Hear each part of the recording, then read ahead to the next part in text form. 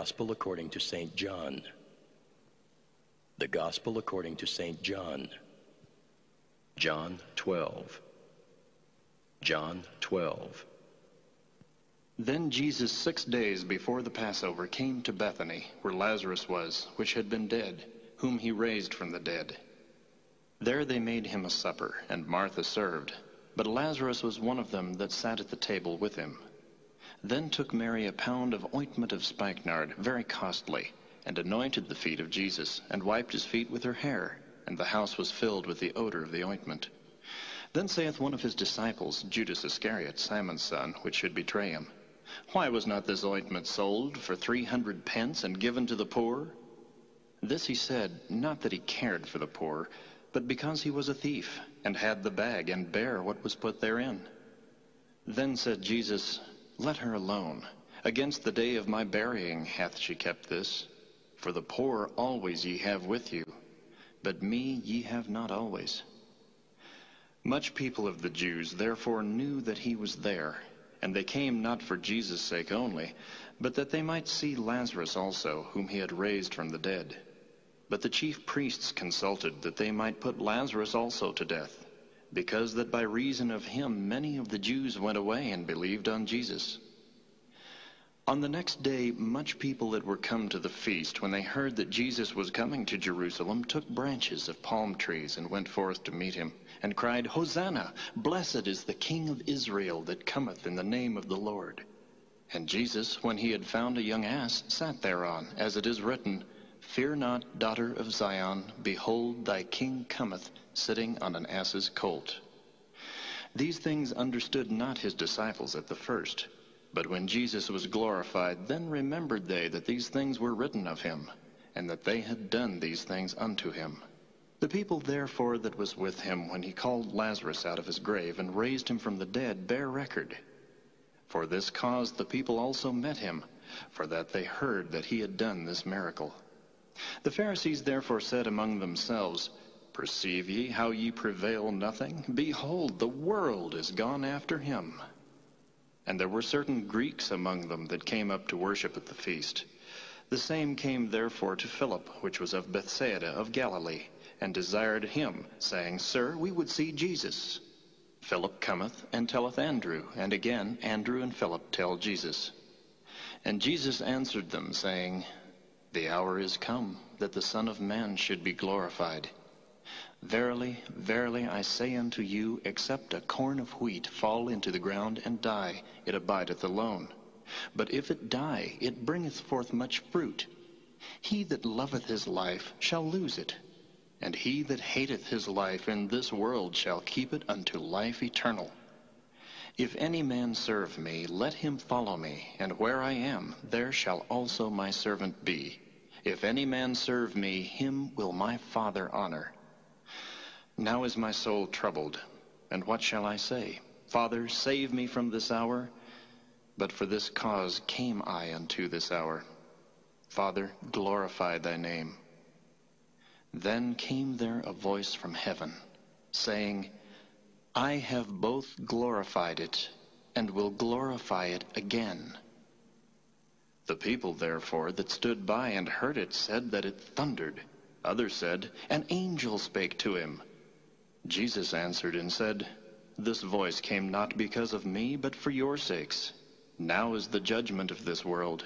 Now shall the prince of this world be cast out, and I, if I be lifted up from the earth, will draw all men unto me. This he said, signifying what death he should die. The people answered him, We have heard out of the law that Christ abideth forever. And how sayest thou, the Son of Man must be lifted up? Who is this Son of Man? Then Jesus said unto them, Yet a little while is the light with you. Walk while ye have the light, lest darkness come upon you. For he that walketh in darkness knoweth not whither he goeth. While ye have light, believe in the light, that ye may be the children of light. These things spake Jesus, and departed, and did hide himself from them. But though he had done so many miracles before them, yet they believed not on him, that the saying of Esaias the prophet might be fulfilled, which he spake, Lord, who hath believed our report, and to whom hath the arm of the Lord been revealed?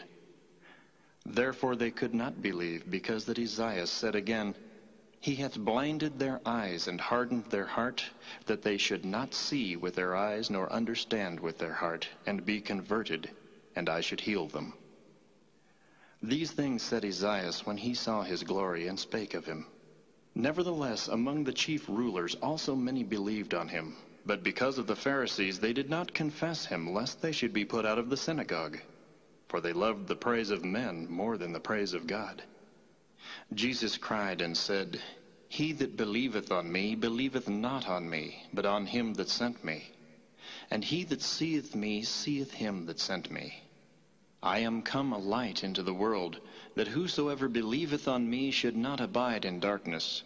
And if any man hear my words and believe not, I judge him not. For I came not to judge the world, but to save the world. He that rejecteth me and receiveth not my words hath one that judgeth him. The word that I have spoken, the same shall judge him in the last day. For I have not spoken of myself, but the Father which sent me. He gave me a commandment, what I should say and what I should speak. And I know that his commandment is life everlasting. Whatsoever I speak, therefore, even as the Father said unto me, so I speak. May God help us to be doers of the word. Amen.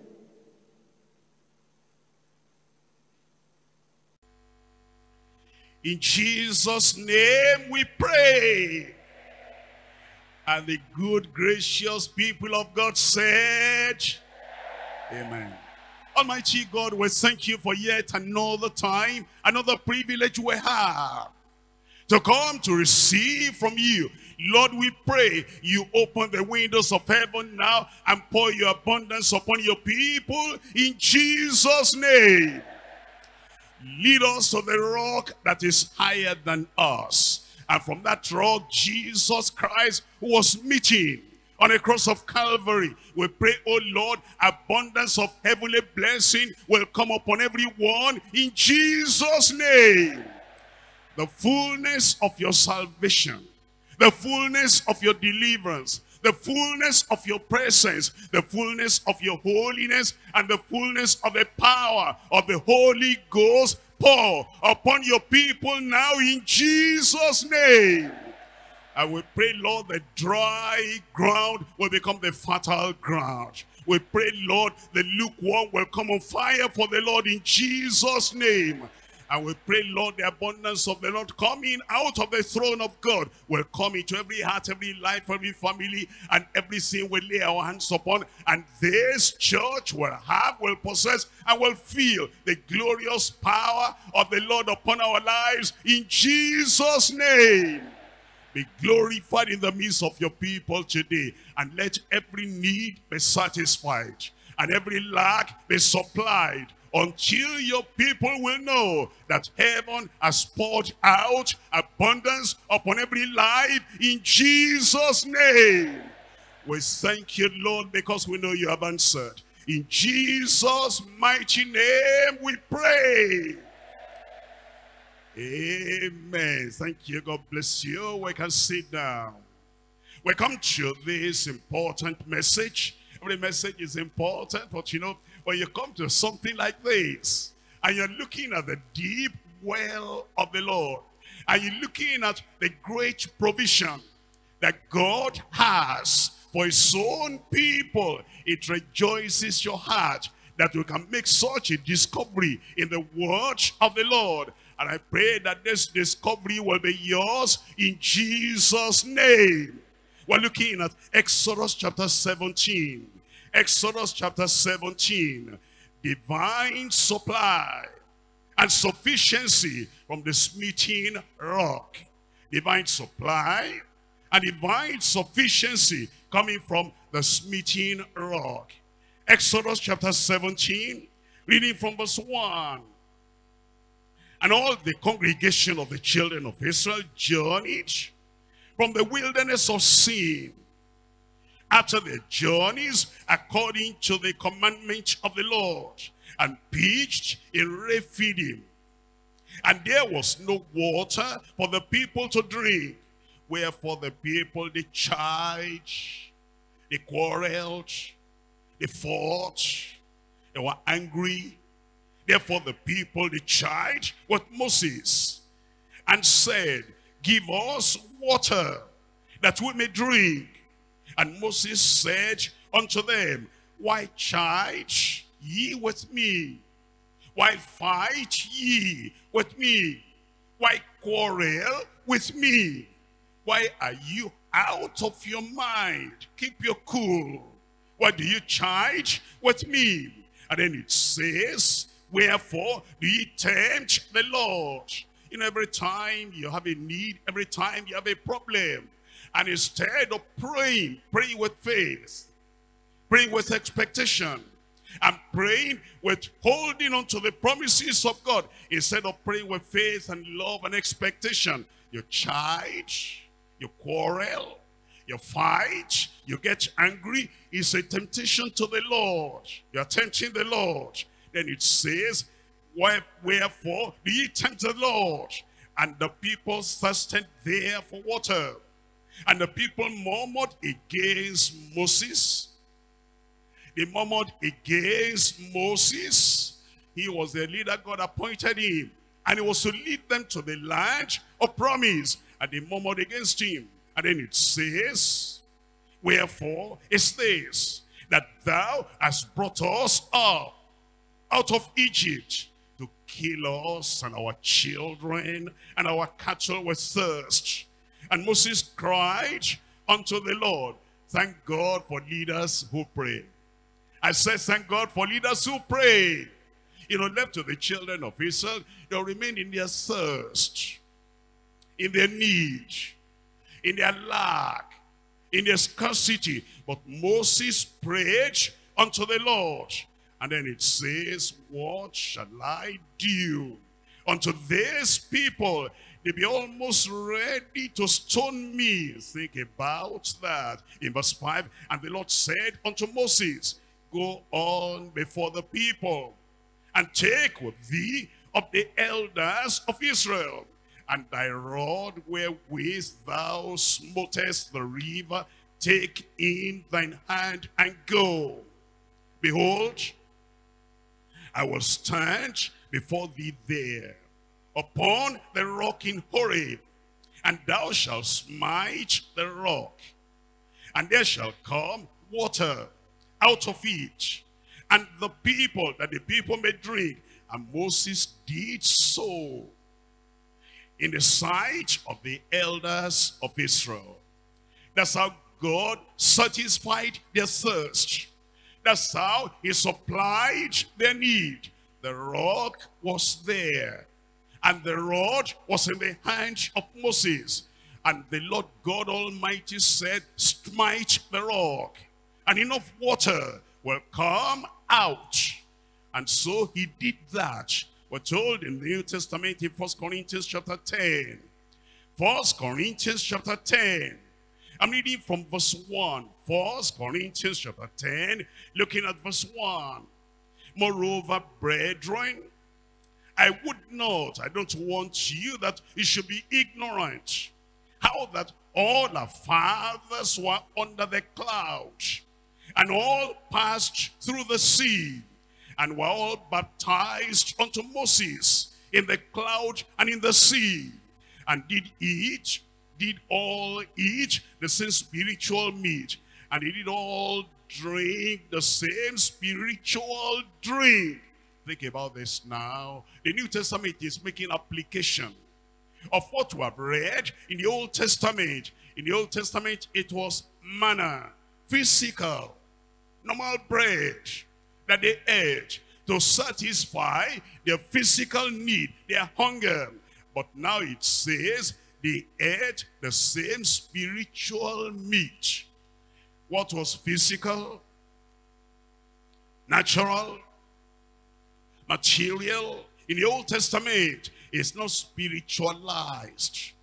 And the Lord is telling us in this passage you are reading that what you saw in the Old Testament, becomes something spiritual in the new. That you look at the spiritual implication, application in your life. The provision the Lord will make. And then he talks about the water out of the rock. And instead of just talking about the ordinary water that they drank, that satisfied the physical thirst. Now it says they drank of that spiritual drink.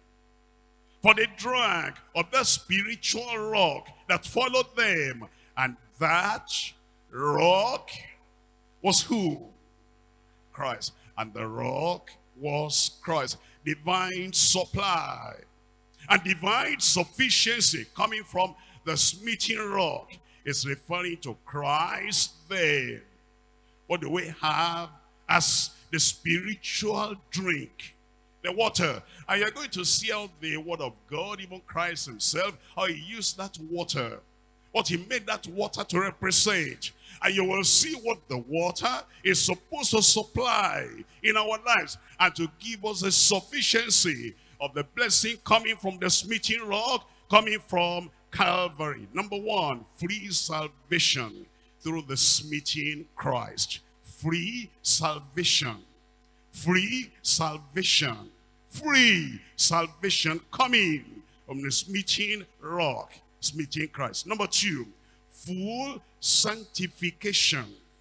Not partial, entire, complete, final, full full sanctification through the smithing Christ. You see that water that they drank?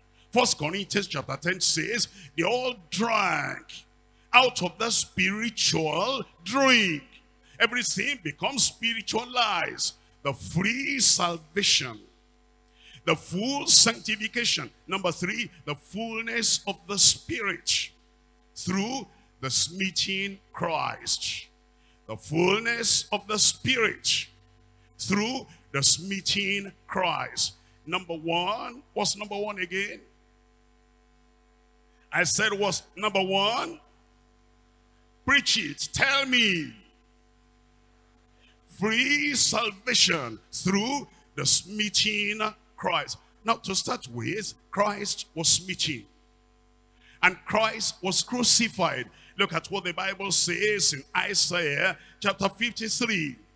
Isaiah chapter 53, I'm reading from verse 4 and verse 5. Surely he has borne our griefs and carried our sorrows. Yet we did esteem him stricken, smitten of God and afflicted. Smitten, smitten of God and afflicted he was meeting when he was crucified, when he was nailed to the cross, when the blood came out of his side.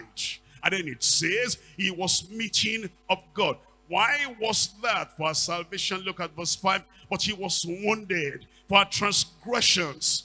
He was bruised for iniquities. And the chastisement of our peace was upon him. And with the stripes, tell me, were healed. Physical healing, spiritual healing, salvation for the soul, salvation for the spirit, salvation that takes us from here to heaven. And then in verse 6, all we like sheep have gone astray and have turned everyone to his own way. And the Lord has laid on him the iniquity of us all. That shows you then this water that came out of that rock is representing the water of cleansing, the water of salvation, the water that represents salvation, forgiveness, redemption unto the people of God. See how the Lord Jesus connected water with salvation. Let's see in John chapter 4. John chapter 4. I'm reading from verse 10. John chapter 4 verse 10. Jesus answered and said unto her, If thou knewest the gift of God and who it is, that says to thee, give me to drink, he would, thou would have asked of him, and he would have given thee living water. You see that? The smithing Christ, the smithing rock, giving us the water of life, living water. The woman says unto him, Sir, thou hast nothing to draw with, and the well is deep. From whence then hast thou that living water? And thou greater than our father Jacob, which gave us the well and drank thereof himself and his children and his cattle. Jesus answered and said unto her, Whosoever drinketh of this water shall thirst again, but whosoever drinketh of the water that I shall give him shall never thirst. Whosoever drinketh of the water that I shall give him shall never thirst. You understand? The woman was thirsty for pleasure. That's why she went from man to man. And the Lord said, when I give you this water, this water of life, this living water, you'll not be thirsty for the pleasure of the flesh anymore. The woman was, was thirsty for the things this world could offer. And Jesus Christ didn't want to tell her directly. He didn't want to, you know, Jesus Christ was not a confrontational preacher. He was a wise savior. And he wanted to draw this woman into salvation. That's why he said, you're thirsty for many things and you're not satisfied with one man, the other man, the other man, the other man, number five. And now you're with number six. And there's no satisfaction yet. And then because you drink of this water, you'll thirst again. But whosoever will take the water, the living water from me, he will never, never thirst. For the water that I shall give him shall be in him a well of water springing up into everlasting life. That Jesus Christ spoke about salvation. And he said, I'll give you the water. And when I give you that water, you'll never, never thirst anymore for the things you have been thirsty for. And the Lord is telling us the same thing. The smithing rock, the smithing Christ, the living water, that salvation that comes from Christ, from his side, from his hands, and is poured out unto us. When you taste that water, you'll not be thirsty for worldliness anymore. You'll not, be, you'll not be thirsty for adultery, fornication anymore. You'll not be thirsty for many men, a man, a man, a man, or a woman, a woman, a woman again. No. There'll be a change. Your thirst will be satisfied. The joy of the Lord will so fill you and saturate your life that the things you used to run after, you used to pursue, the things of this world, all that will vanish away. You'll not be thirsty for more money, more money, more money. Never satisfied. The water that I shall give you will spring up in you and become life everlasting. We're looking at Isaiah chapter 12. Water representing salvation. Water representing the satisfaction that comes from knowing the Lord. Look at Isaiah chapter 12. I'm looking at verse 2. Behold, God is my salvation. I will trust, I will trust and not be afraid. For the Lord Jehovah is my strength and my song. He also is become my salvation. Look at verse 3. Therefore with joy shall ye draw water out of where? The wells of salvation. That water then represents salvation. You know the children of Israel as they came out and the Lord wanted to use them for an example so that we coming generations after we will see how to be able to have something to satisfy our souls, satisfy our heart, satisfy every need that we have. And that water that came out of the rock in the wilderness. The wilderness of this world makes us thirsty. Thirsty for many things. And we're looking for this and we think, if I get this, I'll be all right. If I get that, I'll be all right. Didn't you think like that in your life when you're very young? If I get certificate, I'll be all right. You got it now. You're not all right yet. You're still thirsty. When I get a job and then I'm well placed, I'll be all right. You got a job. Are you all right? And then when you give me promotion, they give me promotion and increase my salary by 5%, 10%, I think I'll be okay. That will be final for me. But they did that. And after the promotion, that week you were all right. That month you were all right. After about three months or four months to say, what am I going to do with this? I need more. It never satisfies. It's when I get married because you know i'm getting i'm getting a kind of developed and i'm matured now. I feel it in my body in my life. This loneliness i want to take care of it. When i get married i'll be all right. You got married now? Are you all right? No well, you're not set for one woman. If I get another woman, this one is getting stale. This one is not, is not satisfying me anymore. And then you got another one. Are you satisfied yet? No, it never satisfies. When I have children, that will finalize everything. I'm just asking, Lord, all this what I'm looking for. The only thing I'm looking for, a child, a child, a child. But you got the child now. After getting the child, are you satisfied? No. You see, whatever it is you get in this world, you'll drink out of this water and you will thirst again. But the water that I shall give unto you will be in you well of salvation life eternal rivers flowing into life eternal therefore that's why it says in verse 3 therefore with joy shall ye draw water out of the wells of salvation. The Lord is telling us, then come and take that water of life. We're looking at Isaiah chapter 55. Isaiah chapter 55, and we're reading from verse 1.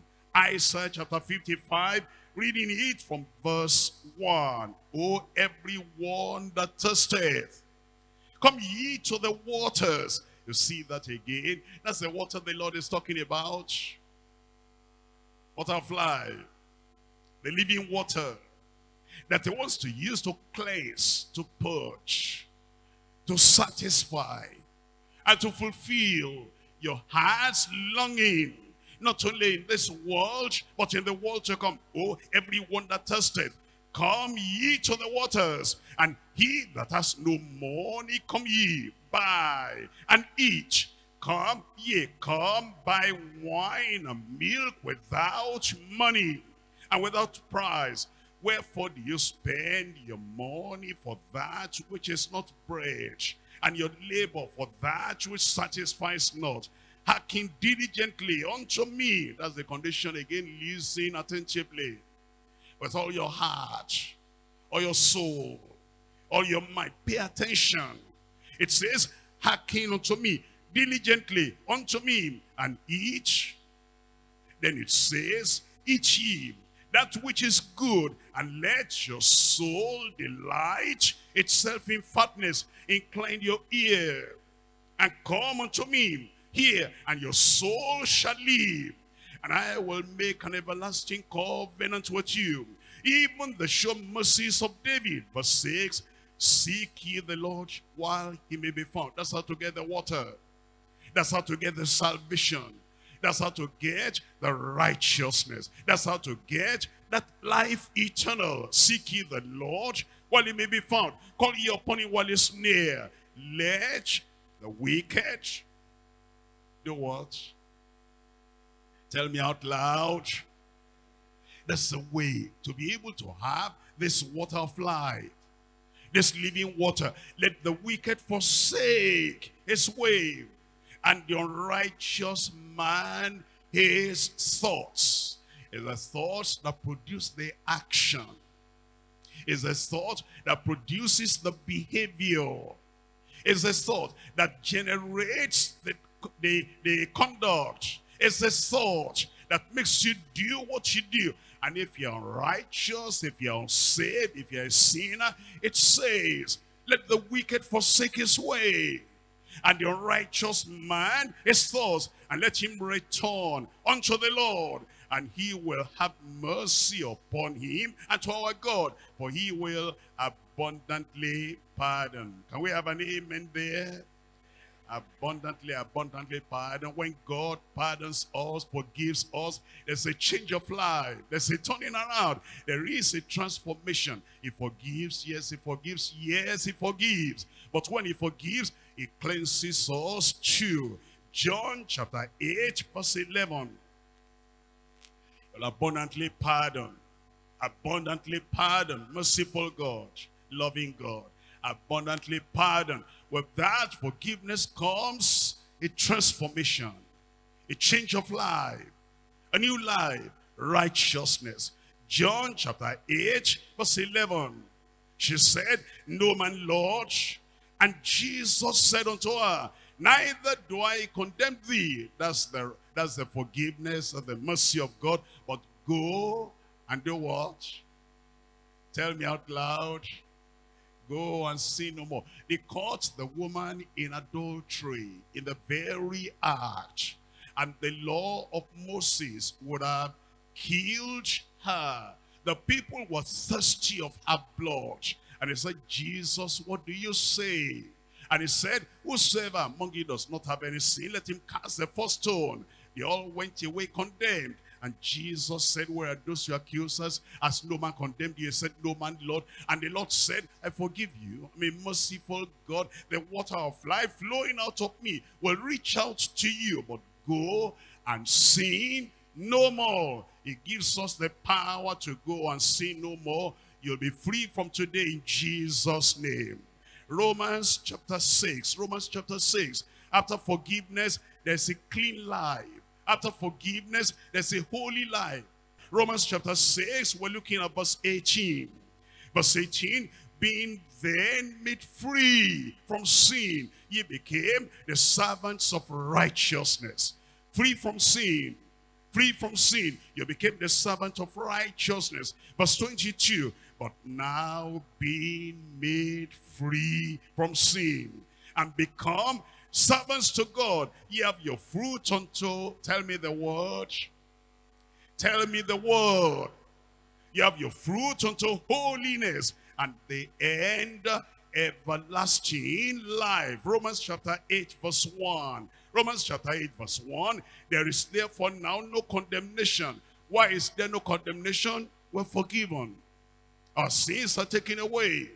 The condemnation is gone the damnation is gone. And it's coming out of the smitten rock, coming out of the smitten Christ. When you believe on the Lord Jesus Christ as your Savior and as your Lord, that life eternal flows into you. It says there's therefore no condemnation to them which are in Christ Jesus, who walk not after the flesh, but after the Spirit. For the law of the Spirit of life in Christ Jesus has made me what? I pray you'll be free. I said you will be free. Free from the yoke and free from the chains of sinning. That he has made me free from the law of sin and uh, death. He sets us free and I pray that you'll be a partaker of that freedom in Jesus' name. Point number two, full sanctification.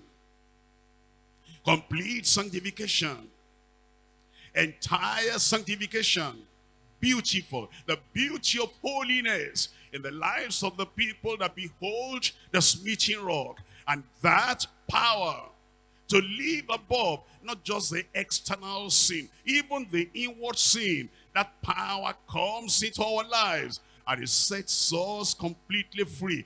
And today you're free. I said today you're free.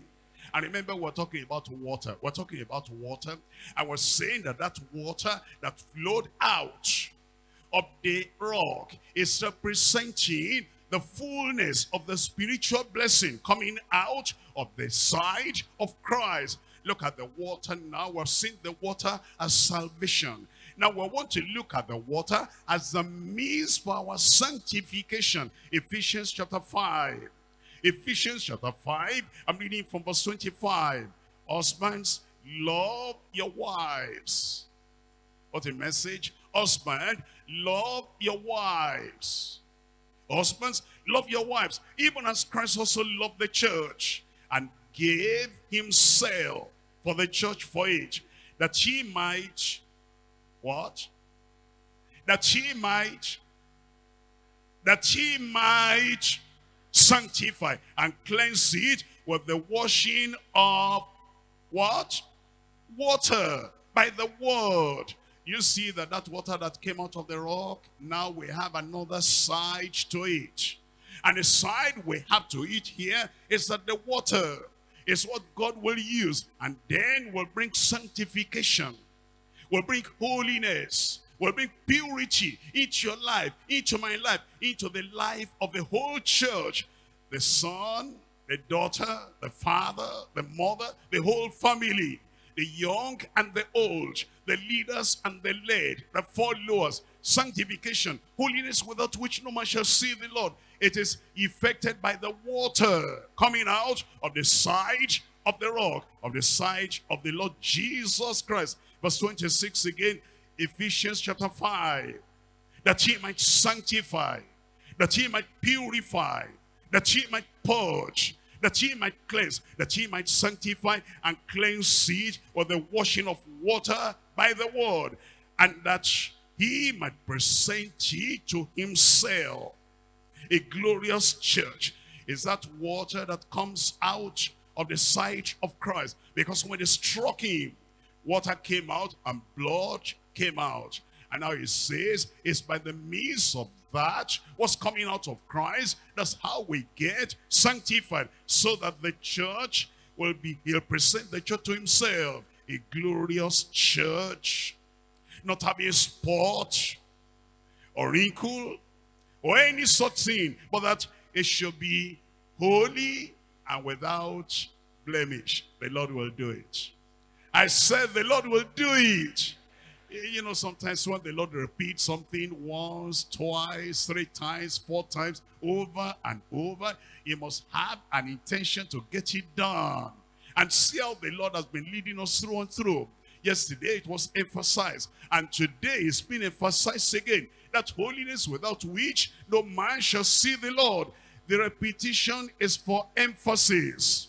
The repetition is to remind us that this is the very heart of God. And we're looking at the symbol. We're looking at the water. And we're seeing that that water also is going to produce, is going to grant us the holiness and the sanctification. By the way, the promise has been given to us. Look at Luke chapter 1. Luke chapter 1. In Luke chapter 1, we're looking at it from verse 69. And he has raised up an horn of salvation for us in the house of his servant David, as he spake by the mouth of his holy prophets, which have been since the world began, that we should be saved from our enemies and from the hand of all, not only of some, of all that hate us. A sacrifice of Jesus that makes that possible. Preservation from the enemy, protection from the enemy, power that prevails over the enemy is Christ that makes that available. And then verse 72 to perform the mercy promised to our fathers and to remember his holy covenant, the oath which he sware to our father Abraham that he will grant unto us that we've been delivered out of the hand of our enemies might serve him without, without what? Without fear, without fear. What will they say if I give all my life to the Lord? What will they say if I live a holy life? Holy life in the home, holy life in the office, Holy life in the neighborhood. only life among religious people. What will they say? Will they not say, what are you trying to do? We'll be together and we've been walking this way together. Do you want to show that you are better than us now? Don't be afraid of what they're going to say. Here is the provision of the Lord. And here is what the qualification that gets you ready for heaven above. So it says that we might serve the Lord without fear in holiness and righteousness before him all the days of our life. You know, sometimes when you read that, you're asking yourself, is that possible? In holiness and righteousness before the Almighty God, not just before man, before him. And then it says, all the days of our lives. You think about that and say, can anybody do that? Is that possible for anyone? Holiness and righteousness before God, all the days of our lives. You know, sometimes it gives us encouragement. When we've seen somebody, he has done what we're trying to do. He has gotten to the place we're trying to get to. And then all doubt is cleared away from your mind. And you say, if God can do it for him, if God can do it for her, God can do it for me. He will do it for you. I said he will do it for you. Holiness and righteousness before him all the days of our lives. Are there people that have been like that before? I want you to write the word holiness. Holiness. You write the word holiness. You know how to spell holiness? I said you know how to spell holiness? God will spell it out in your life. I need an amen there. Holiness H. Hezekiah. Hezekiah. You know, if God did it for other people and they testify to it, and God never said, no, Ezekiel, you are telling a lie. That's not possible. You didn't live a holy life. He lived a holy life. Second Kings chapter 20. Second Kings chapter 20 verse 1. In those days was Ezekiel sick unto death. And the prophet Isaiah, son of Amos, came to him and said unto him, Thus says the Lord, set your house in order, for thou shalt die and not live. He turned, then he turned his face to the wall and he prayed unto the Lord, saying, I beseech thee, O Lord, remember now how I have walked before thee in truth and with a perfect heart. It was possible for Hezekiah, it will be possible for you. I said it for you. And that's why the Lord added 15 years to his life. Didn't I tell you, holiness will go along with healing and happiness. Holiness, happiness, health. They go together. And because the man said, oh Lord, look at my life. I've been walking before you straight and with a perfect heart. And the Lord said, that's all right. I'm adding 15 years to your life. The Lord will prolong your life. The Lord will prolong your life. You will not die young. But long life will it satisfy you in Jesus' name. Oh, for Obadiah. Obadiah. First Kings. I'm reading First Kings chapter 18. He was walking in a difficult place. He was walking with Ahab. He was walking under the very eyes and the nose of Jezebel. But the man remained holy, remained righteous. Some people say, you know, Pastor, where I'm walking, that place, they're wicked. That place, they steal a lot. That place, if you don't steal with them, they'll mark you down. And look at what they will do. Those people are cultic. Ahab was a occultic, Jezebel was a occultic, and yet Obadiah lived a holy life. You will live a holy life. I said you live a holy life. In First King chapter 18 verse 3, and Ahab called Obadiah, which was the governor of his house. Now Obadiah feared the Lord greatly.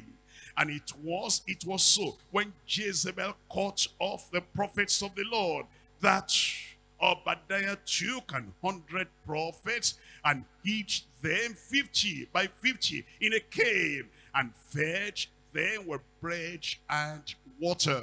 Can you think of three and a half years, all the time of the famine, when even Elijah himself, he was by the brook Cherith. His, a kind a raven was bringing food to him. And then this Obadiah, when he saw this wicked woman Jezebel, with the consent and agreement of Ahab the king, killing the prophets of God, he took 100, 100.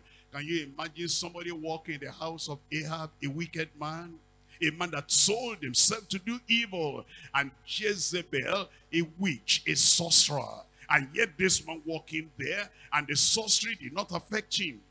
And the wickedness did not rub off on him. And he lived such a good life, righteous life, consistently. Every day he kept those 100 prophets. And day after day and week after week and month after month, he will get out to them and feed them with bread and water. Righteous man. Now, L for Luke. L for Luke.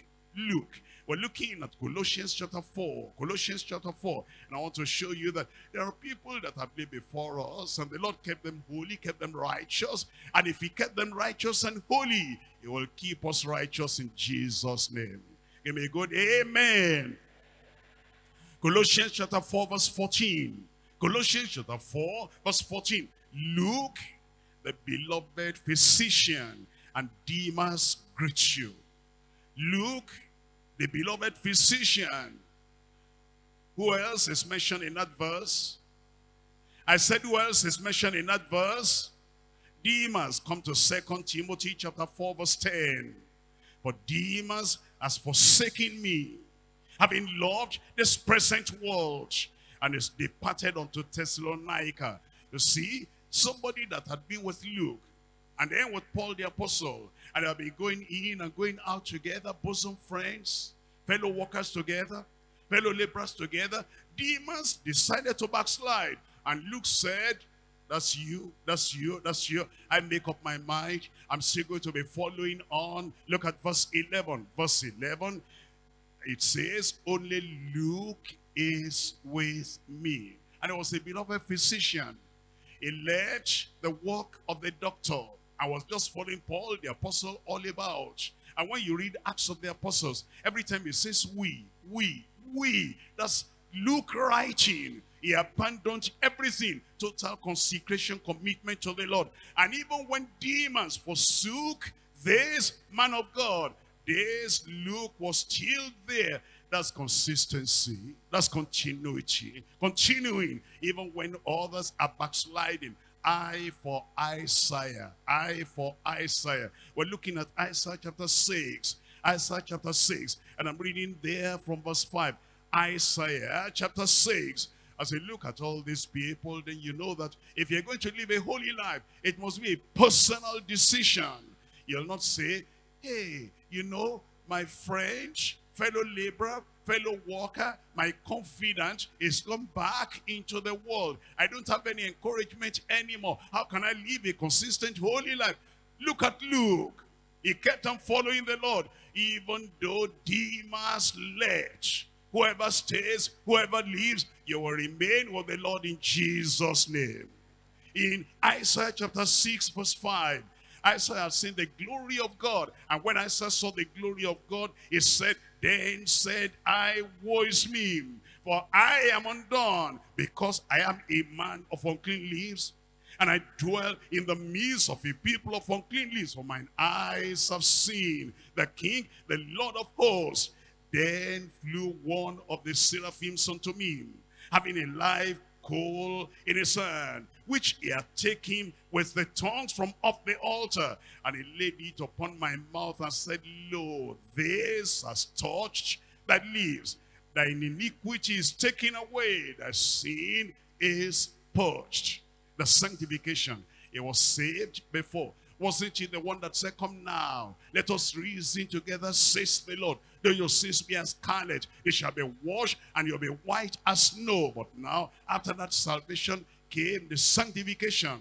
He came before the Lord. He saw the glory of God. He saw the beauty of his holiness. As the angels cried, holy, holy, holy. He began to have this pursuit and passion, this desire. And he wanted this sanctification. He wanted this holiness. And then the fire of God was taken with the tongues from off the altar and touched him and said, this has touched that leaves. And now your sin is purged. Everything is taken away. And the same God that did it for Isaiah, he will do it for you. I said he will do it for you. But you know why God did it for them? Because they wanted it. Because they pursued it. Because they prayed for it. Because they were passionate about it. Oh Lord, this is what I want. He did it for Ezekiel. He did it for Obadiah. He did it for Luke. He did it for Isaiah. He did it for Nehemiah. Nehemiah, I'm looking at chapter 13 of Nehemiah. Nehemiah chapter 13. Nehemiah chapter 13. And we're looking at verse 23. Nehemiah it was uh, the person that is bringing the cup that the king would drink, bringing it to the king. And yet even in that palace, he was still able to live a righteous life.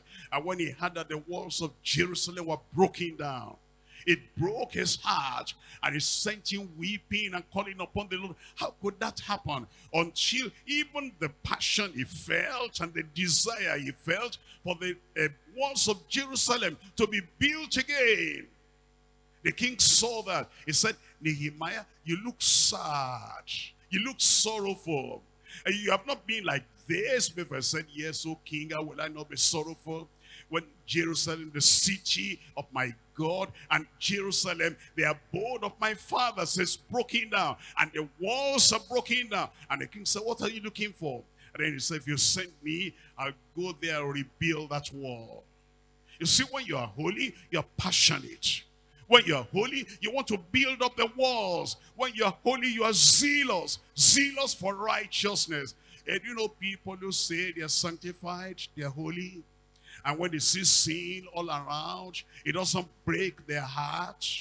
When they see sinners remaining in their sins, it doesn't break their hearts. When they see backsliders going back and back and back, further and further into backsliding, it doesn't break their hearts. When they see people, drunk people, and drunk people are sometimes mad, and they begin to take the word of God in their mouth to jest with the word of God. They're, they're, not, they're not passionate. It doesn't bring zeal in them. For Nehemiah, when he saw that the walls protecting the heritage of the Lord was broken down, it brought kind of tears within him. And then the king noticed that. Look at that Nehemiah now, chapter 13. I'm reading from verse 23. In those days also, I saw the Jews that had married wives of Ashdod and Ammon and of Moab. And their children spoke half in the language, in the speech of Ashdod, and could not speak the pure language in the, in the Jewish language but according to the language of each people. And I contended with them. If you're holy, you'll honestly contend for the faith was delivered unto the saints. Holiness does not make you lukewarm, cold, lethargic. Holiness does not make you insensitive. Holiness does not immune you to the things around you. It gives fire in your soul and makes you to want everybody to get out of sin, out of rebellion, and come to the Lord. Here it says, when I saw them, I contended with them and cursed them and smote certain of them and plucked off their ear and made them swear by the Lord, saying, Ye shall not give your daughters unto their sons, nor take their daughters unto you, unto your sons, and of for yourselves. Did not Solomon, king of Israel, sin by these things? Yet among many nations was there no king like unto him, who was beloved of his God, and God made him king over all Israel. Nevertheless, nevertheless, nevertheless, even him did outlandish women cause to sin. I pray they will not cause you to sin. I said they will not cause you to sin. Shall we then hearken unto you to do all this great evil, to transgress against our God in marrying strange wives? And one of the sons of Jehoiada, the son of Eliashib, and the high priest, was son-in-law to Sanballat, the Horite, the Horonite, Therefore, I chased him from me. I said, get out of here. You cannot be my partner. You cannot be my friend because you are friendly to the person who is an enemy of God. Remember them, oh my God, because they have defiled the priesthood and the covenant of the priesthood and the Levite. Then I cleansed, thus I cleansed them from all strangers and appointed the appointed the wards of the priests and of the Levites, everyone in his business. And then it said, and for the word of the offering at times appointed, and for the first fruits, remember me, O my God, for good. That's holiness. That's holiness. A person affirms that sin and says, no, it will not take root. Sin will not take root in this our church. I said sin will not take root in this our church. E for Enoch, E for Enoch. I'm looking at, I'm looking at Genesis chapter 5. Genesis chapter 5, we're looking at verse 22. And Enoch walked with God after he begat Methuselah 300 years and begat sons and daughters. And all the days of Enoch were 360 and 5 years. And Enoch walked with God and he was not, for God took him. He was so holy. He was so righteous that the Lord said, he will not even allow him to see death. He was going to go to glory without seeing death. And if God did it for them, he'll do it for you. I said he'll do it for you. Are you there? He will do it for you. Hezekiah, holy. Obadiah, holy. Luke, holy. And then Isaiah, holy. And Nehemiah, holy. Enoch, holy. I will be like them. I said I will be like them. Now we come to another S. Samuel. Samuel. And you know that Old Testament character? How the Lord walked in his life from his youth, even to adulthood. And see what the, what the Bible says about him in Jeremiah chapter 15. Jeremiah chapter 15. I'm reading here from verse 1. Jeremiah chapter 15. And we're looking at verse 1. Then said the Lord unto me, Though Moses and Samuel stood before me. Think about God now pairing Moses and Samuel. Because Samuel lived a righteous life a holy life. And he did that from the very when he was young until when he, he became old. And see the testimony of this Samuel in 1 Samuel chapter 12. 1 Samuel chapter 12. How he challenged the people, confronted the people and said, you can witness against me. Whose ox have I taken? And what have I coveted of anything that belongs to anybody? 1 Samuel chapter 12, I'm reading from verse 3. Behold, here I am witness against me before the Lord and before his anointed. Whose ox have I taken? Or whose ass have I taken? Or whom have I defrauded? Whom have I oppressed? Of whose hand have I received any bribe to blind mine eyes therewith? And I will restore it. And they said, Thou hast not defrauded us, and nor oppressed us, neither hast thou taken aught from any of any man's hand. If those people could make it, we will make it. I said we will make it. Do you remember when Samuel was young, Hophni and Phinehas were there? Wicked people, wicked children of Eli, as terrible as they were, as polluted as they were, as sinful as they were, Samuel held on to the conviction that the Lord has brought him to. And if you are really having the grace of God in your life and that water flowing from the side of Christ touches your life, comes upon your life, I'm telling you that this holiness, the Lord will bring it out in your life in Jesus' name. The final S is Stephen. The final S is Stephen. That man was holy. That man was pure. That man was sanctified. And see what they did. See what they did. And yet, no anger, no bitterness. Think about this. Holiness gets rid of anger. Holiness gets rid of the fury. The fury of the unbeliever.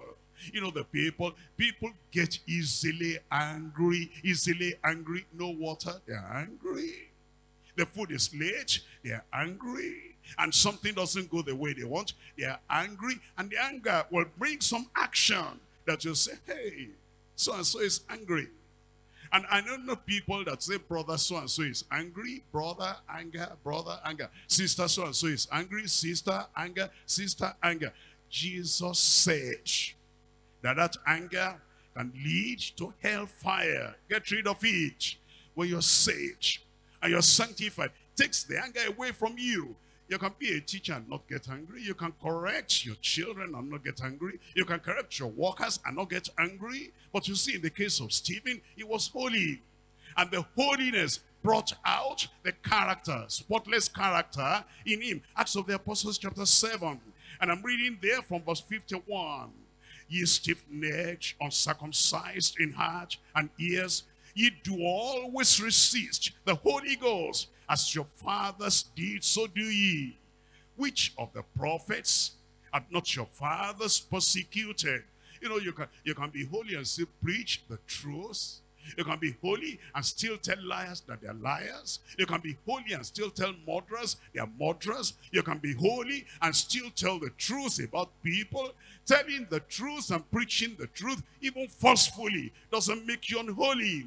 It says, which of the prophets have not your fathers persecuted? And they have slain them, which showed before of the coming of the just one, of whom ye have been now the betrayers and the murderers, who have received the law by the disposition of angels, and have not kept it. When they heard these things, they were cut to the heart, and they gnashed on him with their teeth, but he being full of the Holy Ghost looked up steadfastly into heaven and saw the glory of God and Jesus standing on the right hand of God. If you're holy, when you're about to go home, you'll see the glory waiting for you. You see the Lord waiting for you. And you see your mansion that the Lord wants you to possess. And then he said, Behold, I see the heavens open and the Son of Man standing on the right hand of God. Then they cried out with a loud voice and stopped their ears and ran upon him with one accord and cast him out of the city and stoned him. And witnesses laid down their clothes at, the, at a young man's feet.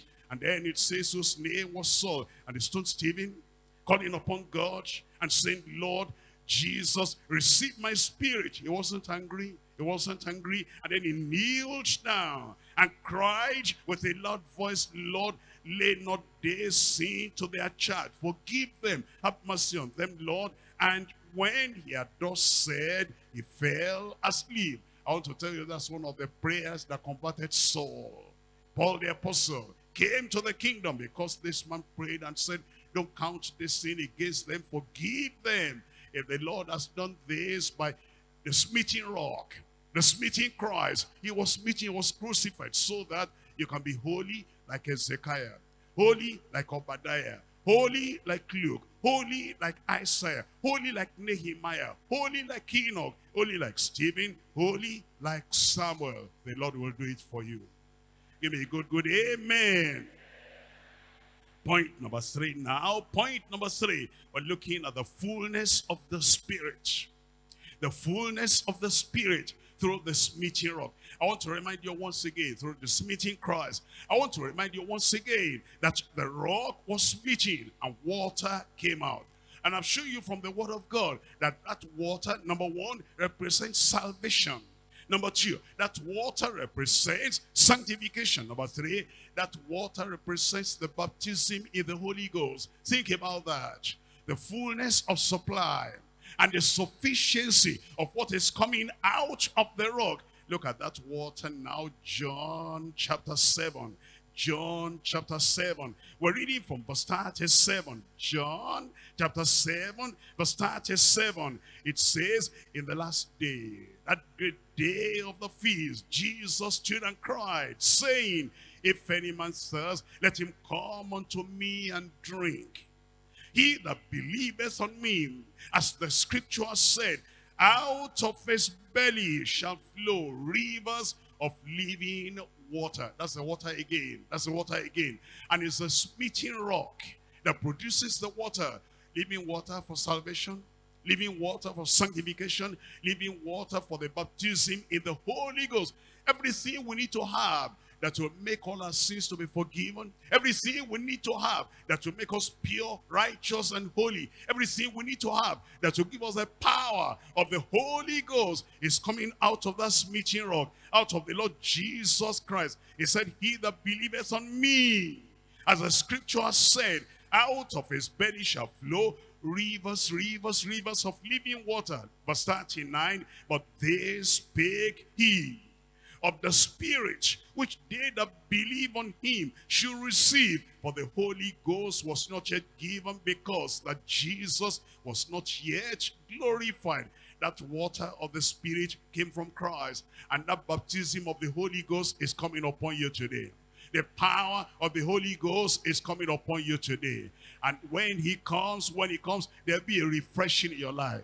I said there'll be a refreshing in your life. A revival in your life. A renewal in your life because of the water flowing from Christ. The Holy Ghost power baptism coming upon the saved, sanctified people. Acts of the Apostles chapter 2 verse 33. Acts chapter 2 verse 33. Therefore, being by the right hand of God exalted, having received of the Father the promise of the Holy Ghost, he has shared forth this which ye now see and hear. That's the Holy Ghost baptism. He was exalted by the hand of the by the right hand of the Father, and now he sent that unto us, and that promise is yours today. I said that promise is yours today. Verse 39, for the promises unto you, and to your children, and to all that are far off, even as many as the Lord our God shall call. Salvation is for you. Sanctification is for you. Holy Ghost baptism and power is for you as well. Do you believe that? I said, do you believe that?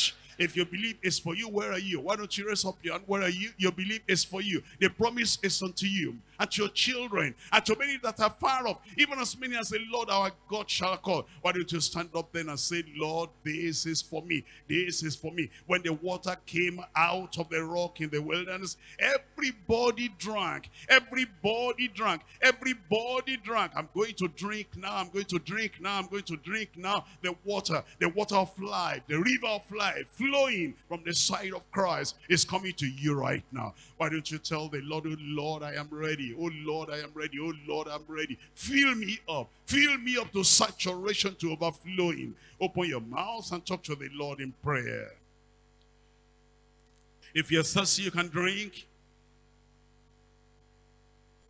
Draw salvation out of the well with joy.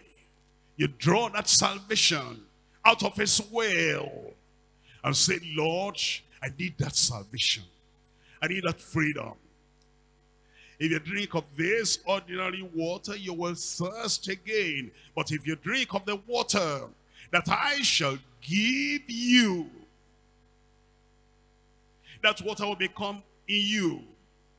Rivers of living water flowing out, flowing out, flowing out. You'll not thirst again.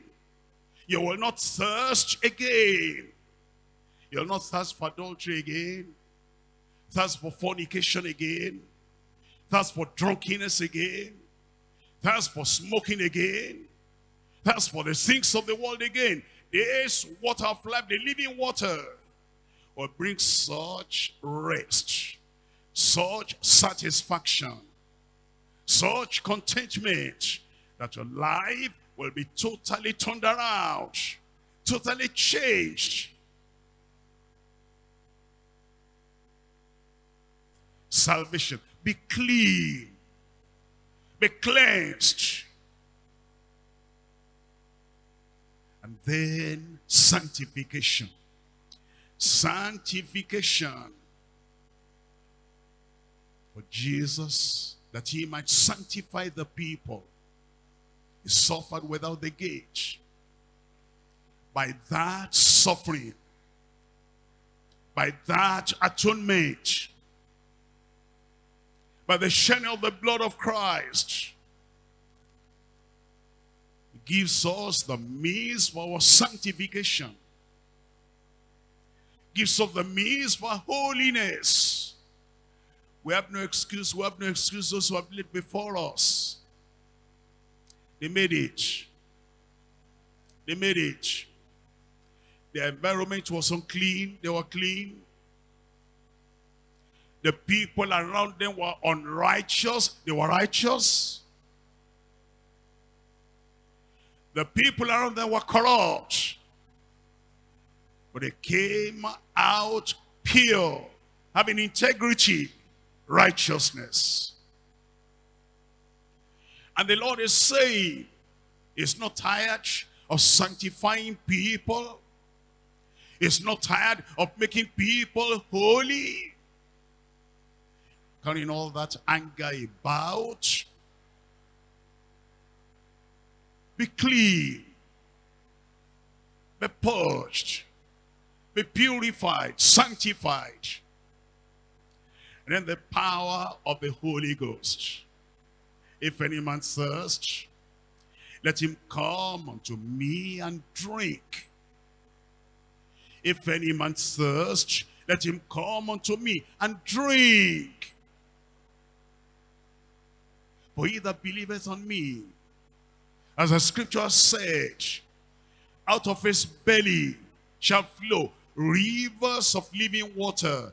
And this is said of the Holy Ghost, which they that believe on him should receive.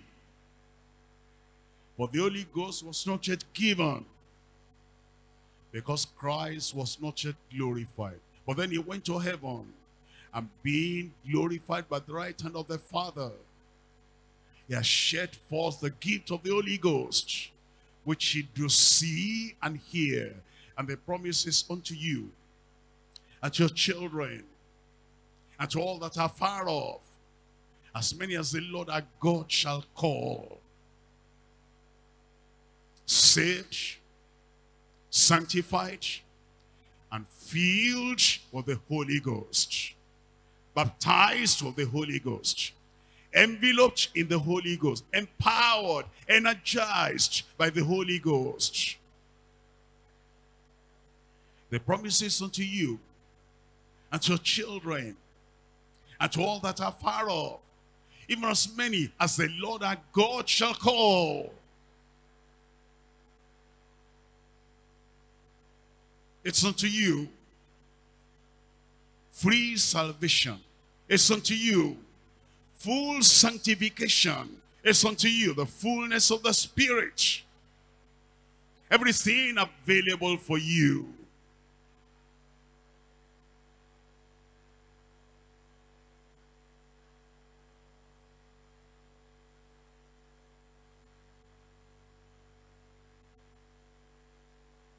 He'll do it for you. He'll do it for you. He will do it for you.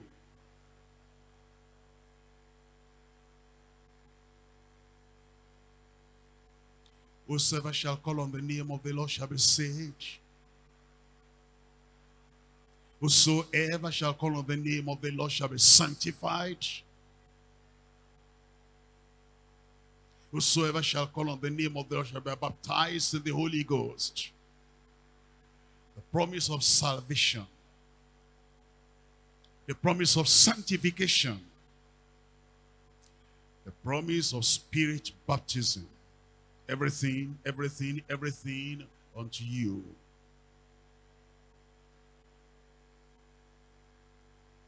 In Jesus' name we pray.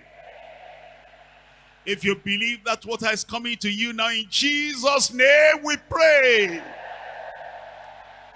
Living water, living water, flowing to your soul, to your heart, to your spirit, to your body, to your life. In Jesus' name we pray. You will drink, you'll never be thirsty again. And all the things of the world you were thirsty about before, you were reaching after before, and you were looking for before, all those things are gone. Even today, as this water of life, the living water, is coming into your life today, in Jesus' name.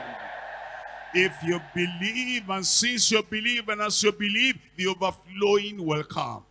I said the overflowing will come. Full salvation will come and full sanctification will come. And the fullness of the Spirit of God will come in Jesus' name.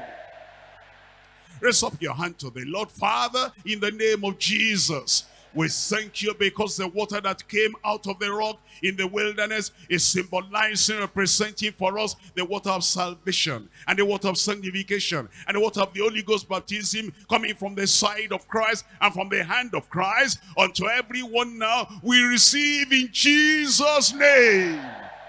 And as that water of life, the living water comes upon everyone now, all the six were thirsty for before. We're not thirsty for them anymore. We're not thirsty for worldliness anymore. We're not thirsty for sin anymore. We're not thirsty for evil anymore. We're not thirsty of the love of money anymore. Oh Lord, set everyone free in Jesus' name. And then the water of sanctification that cleanses, that purges and purifies and makes holy and makes righteous. Oh Lord, I pray that purity coming from the throne of God. Give it to every child of God in Jesus' name. Make us holy. Make us holy. Make us pure.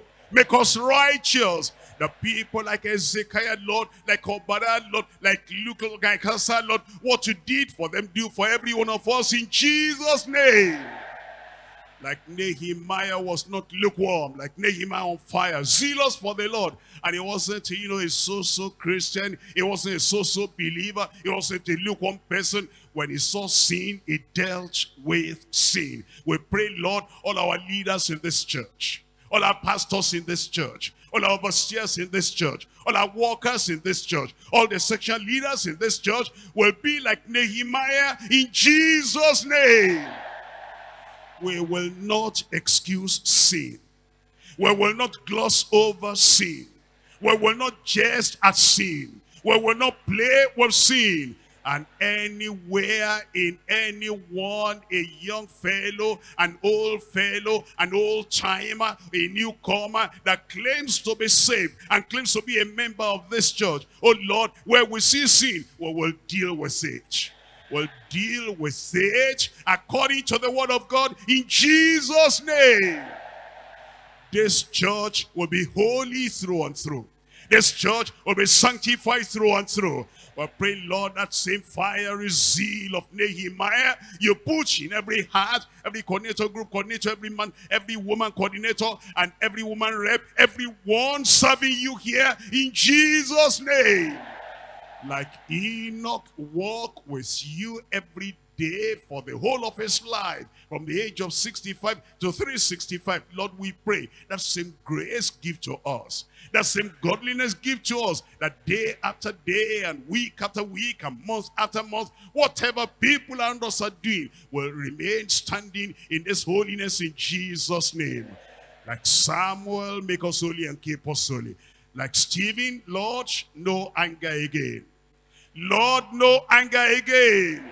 Take it away, uproot it from every heart, every life, in Jesus' name. I will pray, Lord, the fire of the Holy Ghost, the water of the Holy Ghost, and the power of the Holy Ghost will come upon every life. That Lord will go on in the strength of the Lord, in the power of the Lord, in the energy of the Spirit, and will go out conquering and to conquer in Jesus' name.